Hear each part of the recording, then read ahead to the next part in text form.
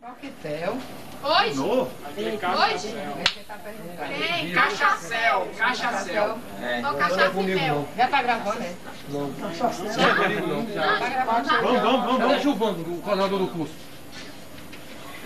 É, chegamos ao final, depois de dois anos de muita, muita luta, né? Um período de greve também, que prejudicou um pouco, é, um pouco, um pouco não, prejudicou muito é, a nossa, nossa, nosso rendimento, né? Mas isso não conseguiu é, tirar a nossa dedicação e estamos aqui para concluir é, com chave de ouro, né? É, muitos colegas nossos aí vão, vão estagiar e muita, é, muita, muita sorte para eles e para todos que é, ficaram aqui na espera e vai conseguir, é, que todos consigam obter êxito daqui para frente. Nós se não conseguirmos, vamos gravar. É, com certeza. Em nome da turma, eu gostaria de agradecer à diretora Fátima pelo apoio, ao coordenador Giovanni, que nos apoiou muito, e a todos os outros funcionários presentes. É, Aqui. E parabenizar todos os colegas pela grande vitória que selamos hoje em concluir um curso técnico pós-médio. que Para a região que a gente mora é bastante satisfatória.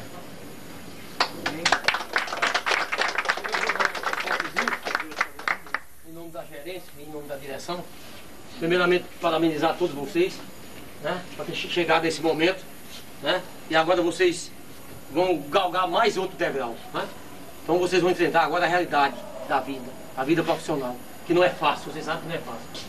Né, eu já passei por isso, né, e muitos colegas também já passaram, e vocês agora vão ter a responsabilidade de conviver com a comunidade, vão trabalhar para a comunidade.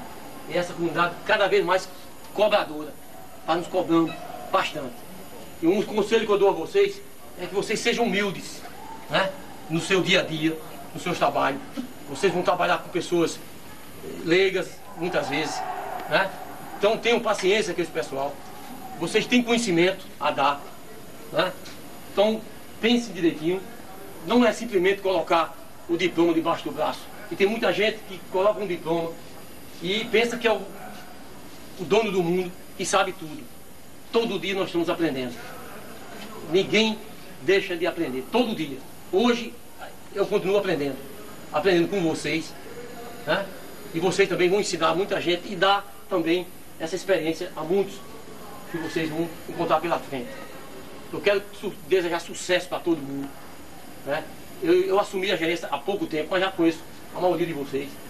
né? Eu gosto demais né, da, da- do- da área técnica, que eu sou técnico também de engenharia civil. Né? Vocês estão terminando o curso de eletromecânica. E espero realmente que vocês tenham sucesso e que depender de mim, dentro das minhas possibilidades, estou aí para ajudar a qualquer momento. Dentro das minhas possibilidades e dentro dos meus conhecimentos. Desculpe, peço desculpa em nome da direção, né? porque falhas existem. né? Não é só da nota da UNED, vem geral, isso é todo o contexto nacional. Se faltam, se faltam professores, se falta equipamento, a culpa não é nossa. A vontade é grande da nossa direção né, para conseguir o melhor para vocês, mas infelizmente não depende da gente, depende do superior, da presidência da República, do Ministério, que cada vez está mais né, tirando recursos da educação. Esperamos que Deus ilumine esse novo presidente para que invista na educação, para nós termos cada vez mais um ensino de qualidade. Parabéns a todos e muito obrigado. pela.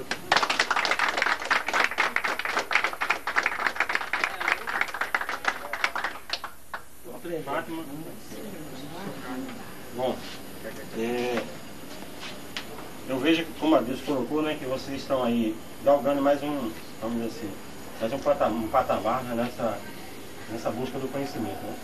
E o Cefet, é, a missão do Cefet é formar né, para o mundo do trabalho. Né? Então, é- essa é, é- é a principal missão do Cefet. E, e quando chega esse momento, né, o momento da, da formatura, né, é, a gente percebe, né, que nós percebemos, aliás, né, que conseguimos é, alcançar essa missão. Né? Então, a prova está aí, vocês estão é, formados, né? Vocês, como eu disse, vocês estão prontos para é, estarem no mercado. Né? claro que existem, é, como conhecimento é uma coisa muito ampla, é, nem, nem um ser humano, é, que, aliás, um ser humano consegue, vamos dizer assim, é, alcançar é, o conhecimento como um todo. Nós alcançamos gotas do conhecimento ao longo da nossa vida, né? Nós morremos e não conseguimos conhecer. E às vezes pensamos que conhecemos e não conhecemos. Né? Então, nesse sentido, nós temos que sempre estar aí buscando a todo momento o conhecimento. Né? Vocês estão, nesse sentido, não estão prontos né? e nem, nem, nem, nem teria assim, uma obrigação nesse sentido, já que o conhecimento tem essa amplitude que eu coloquei. Né? Mas vocês têm uma base né, é, profissional que é interessante, né? É, vocês têm um diploma, né, vão estar aí decididos aí com um diploma em mãos, é, que vai, vamos dizer assim, abrir portas né, é, no mercado, tá certo? Mas é, a gente entende que isso não é o suficiente, né? Profissional hoje que é, pegar o seu diploma e guardá-lo, né, é, numa gaveta por quatro anos, aquele que não buscar conhecer, é, buscar o conhecimento, né, vamos dizer assim, buscar cursos de aperfeiçoamento, né, buscar é, dentro da empresa em que estiver atuando, né, ter iniciativa, né, demonstrar é, humildade em determinados momentos, dizer que não conhece, isso é fundamental, né? A gente tem que reconhecer que a gente não conhece aquilo. E nós temos a obrigação de conhecer. Nós temos a obrigação é, de, de termos uma, uma percepção daquilo, né? simples. Mas, acima de tudo, né, nesse momento em que nós é, reconhecemos que não, não sabemos fazer aquilo, nós temos que é, ter a humildade, a humildade e ter a, a, vamos dizer assim, a força né, para dizer, eu posso né, estudar isso, e aí eu posso fazer isso, eu posso contribuir. Então, isso é fundamental, né? Essa, esse comportamento de, de estar sempre à disposição, tanto da empresa que nós tivemos, como da, da, da comunidade em geral, né? É, enfim, onde nós estivermos atuando. Tá? E aí o Cefet é, não, não, aí, é, vamos dizer assim, não se colocando de maneira egoísta, né? ele não fecha com vocês nesse momento né? essa ligação, é, né? que fica a questão, é, vamos dizer assim, técnico, nós, nós, nós desenvolvemos um trabalho técnico, mas, mas colocamos nesse trabalho técnico né? uma ligação afetiva, porque é a afetividade que conduz o homem. Essa é a verdade, né?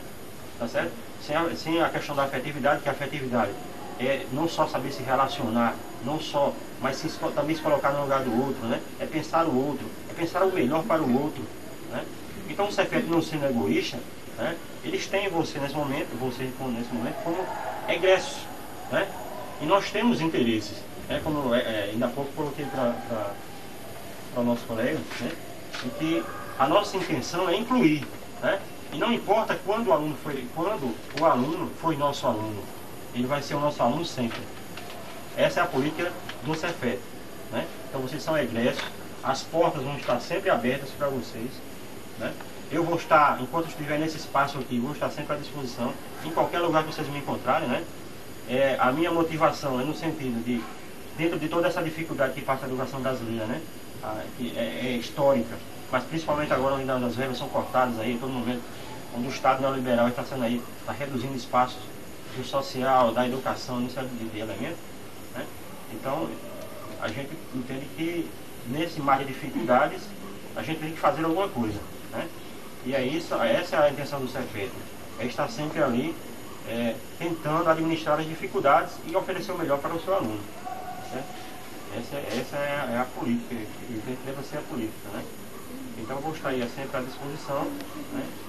e esperando né, que vocês tenham força né, para pensar nesse mundo do trabalho. Né? Se você vai querer ficar na- na- no ensino técnico, se você vai querer galgar a universidade, né, que é importante, né, deve buscar o conhecimento. Então, parabéns para todos. Né? Eh, Esse é um momento que poucos no Brasil né, chegam a, a alcançar, né? principalmente no nível médio. Então, a, a- as matrículas no ensino médio são reduzidíssimas no ensino médio e no ensino técnico. Né? Pessoas conseguem ficar na escola. Né? Então vocês são vitoriosos nesse sentido. Nós, nós estamos é, no momento de vitória, porque o Cefet está cumprindo com a sua missão, né? E vocês estão recebendo né, os benefícios advindos dessa nossa luta.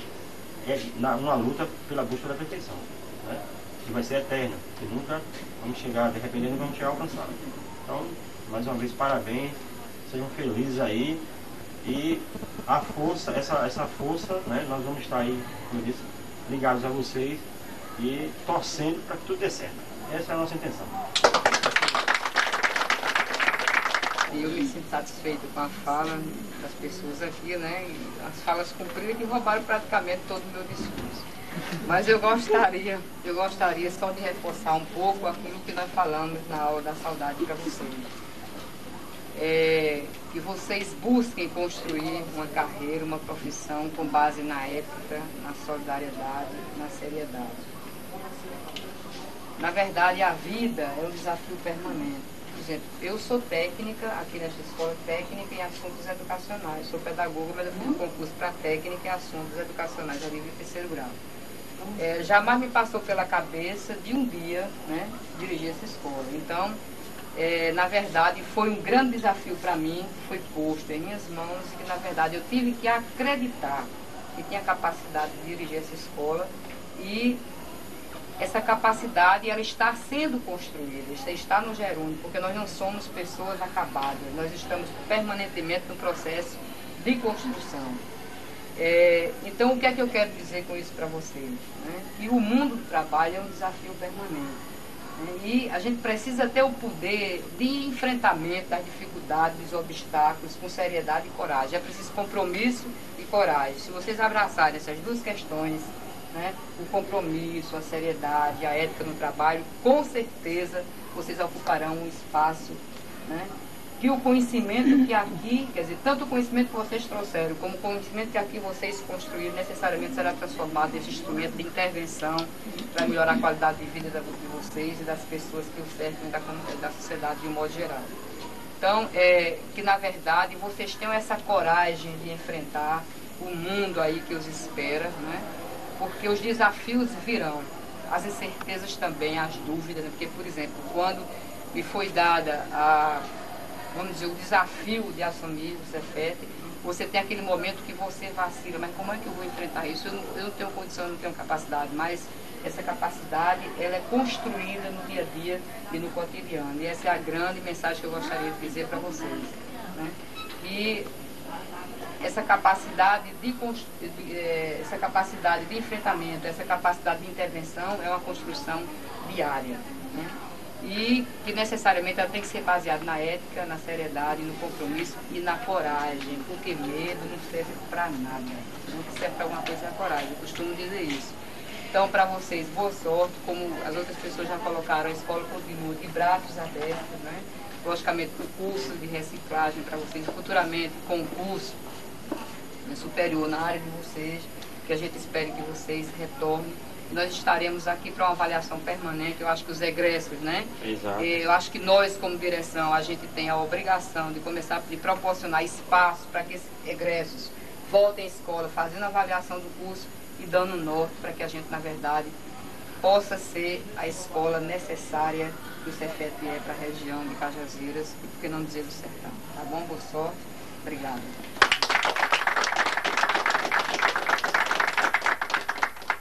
É o verde da esperança aí, ó, aí, o verde da esperança.